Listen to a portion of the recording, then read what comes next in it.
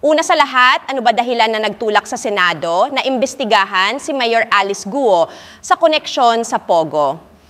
Ang Senado ay unang nakatuon kay Mayor Alice Guo kaugnay ng Philippine Offshore Gaming Operator, POGO, activities dahil sa serye ng mga investigasyon sa ilegal na operasyon sa kanyang nasasakupan sa Daban sa Bamban, Tarlac.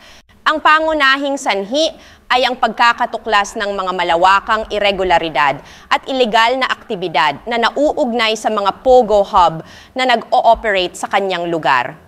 Ang Bamban, Tarlac ay lumitaw bilang isang hotspot para sa ilegal na POGO operations na nag-udyok sa mga autoridad na imbestigahan itdang mas malalim.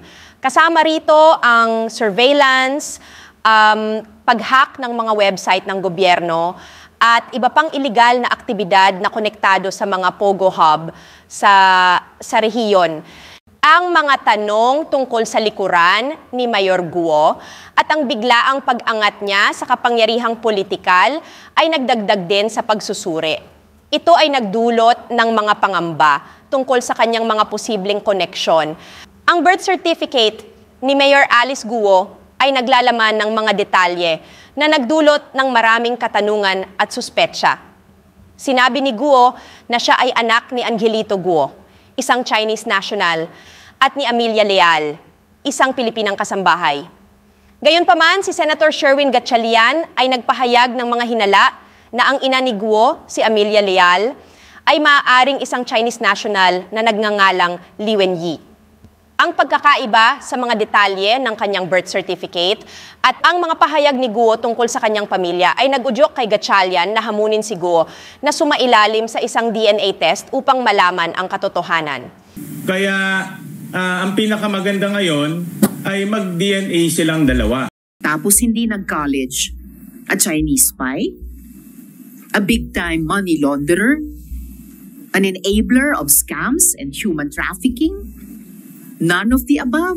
One of the above? Or all of the above? Lumilitaw uh, para bang uh, teleserye itong buhay ni Mayor Alice Go. Uh, blockbuster ito kapag ito ay ginawa nating uh, teleserye kasi fairy tale.